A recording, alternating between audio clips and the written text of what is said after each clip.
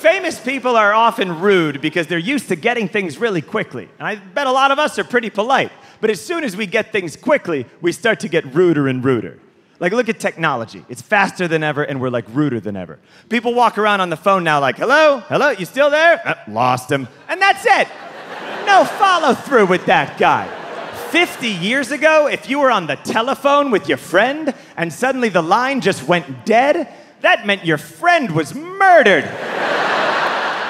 The phone used to be a big deal. It was a long, polite process. Back in the 1940s, the phone was like a wood box with a thing on it. I don't know. And, and it had its own room. You go, ooh, that's the phone's room. And it was expensive. You'd wait all week to make your call. You go, ooh, it's almost Tuesday.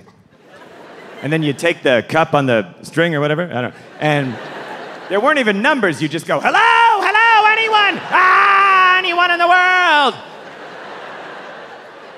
And then you go, operator, ring me Neptune 5, 117. And the operator is a real person that you had to be nice to. And she'd be like, one moment, please. I'm putting wires into a board filled with holes to move the voices around, because it is the 40s. And it took like 90 minutes. Now people just drive around screaming at their phones like, call home!